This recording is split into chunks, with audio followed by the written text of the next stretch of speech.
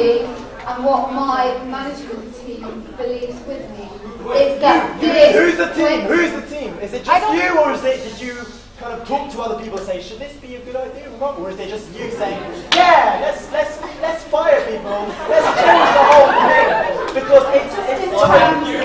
What's the purpose as well? Answer that question. Any of my emails? You're dodging my question now. Which are your emails? And the ones I've addressed to Simon Tim to ask why they're closing my course. Which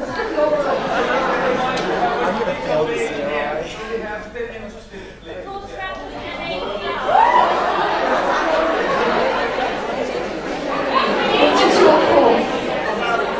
Yes. Um, I'm very happy to address those questions and I refer you to the dean of your faculty. Material to me whether I am popular. Actually, actually, I said when I came into this room that there were four students who came with me with Oliver Tish from the opposed group as wound up as all of you to a meeting. They too came into my office without an appointment and Julian came down and we spoke with them.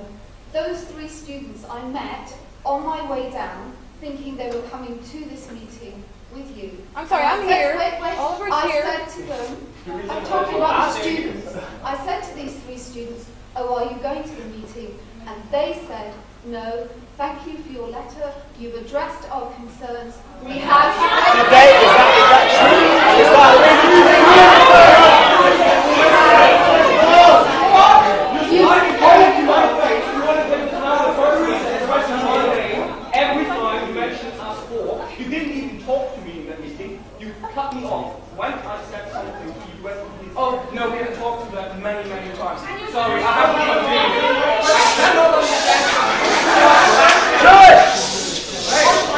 Listen to him. the This is, reason I this is so rude. It's you... rude of you in the way you talked to me in that meeting. I was calm at the beginning. I was really nice and polite, and you cut me off. You cut me off like as if you weren't existing. And that is incredibly rude and it's bad management practice. And I hope that no one in this room who goes into, into an agency, a big organization, will follow this management practice. Yeah.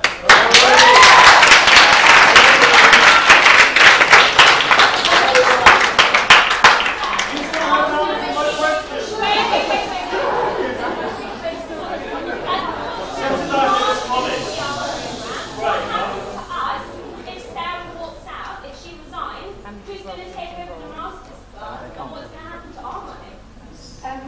If Sarah resigns, we will replace her with a specialist.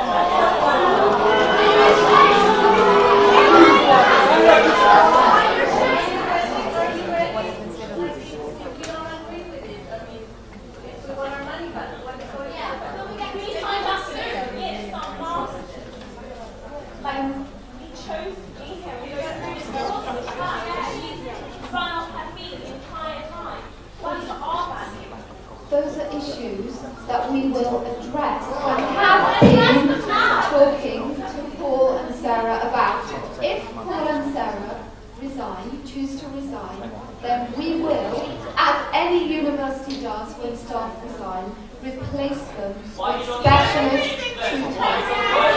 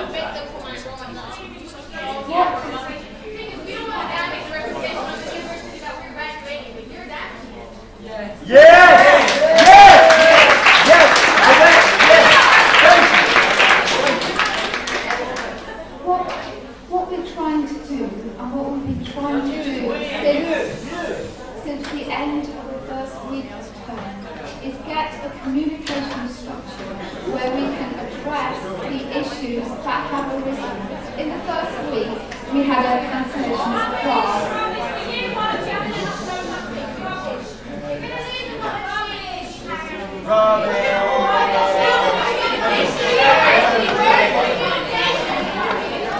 Excuse me, Sandra. We Wait, wait, wait! Kit, Kit! Kit!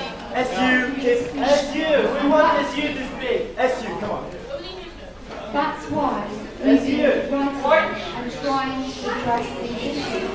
What we couldn't foresee is the resignation of your staff.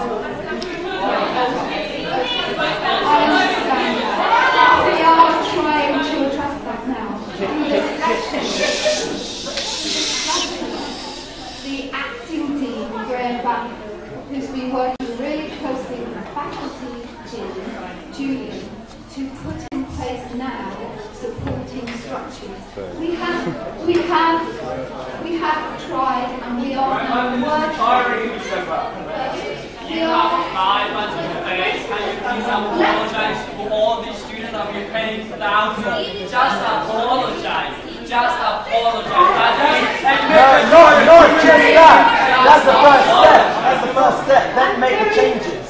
I'm very happy to apologise Jamie, for what situation that has arisen in a course where the tutor Okay, go, go, go, go, go, go, Kit! Kit! Oh, yes, you can speak for us!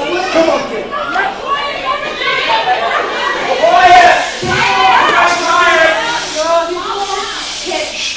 I would just like to say what we will be doing is taking the questions that you've raised and addressing them, and I'm very happy to follow up with the, from the suggestion that we will write to you to explain what we are putting in place. Come on! Yes, you!